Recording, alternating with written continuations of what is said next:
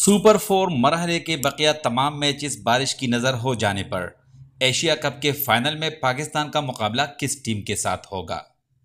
Final से कबल, तमाम मैचेस बारिश के बायस ना होने की सूरत में रन रेट की बुनियाद पर दूसरी फाइनल्स टीम का इंतखब नहीं होगा।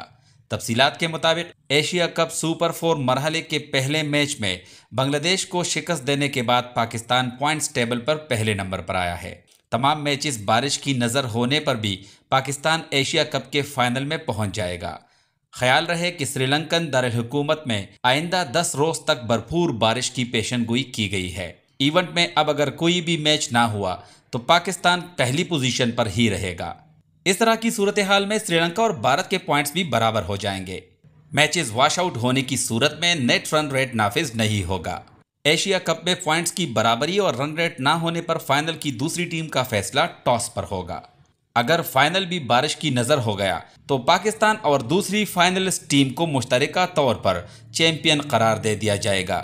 वाजह रहे कि कोलंबो में गुजशत रात से तेज़ बारिशों का सिलसिला जारी है।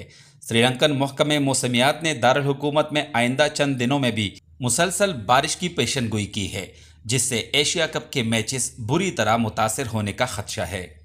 कोलंबो में सुपर फोर मरहले के मैचेस 9 सितंबर से शुरू होंगे।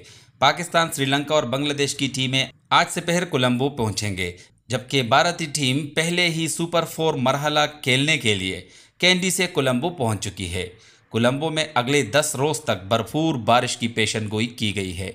एशिया कप का फाइनल 17 सितंबर को खेला जाएगा, और कोलंबो में उस दिन भी बारिश का इम्कान ज़ाहिर किया गया है।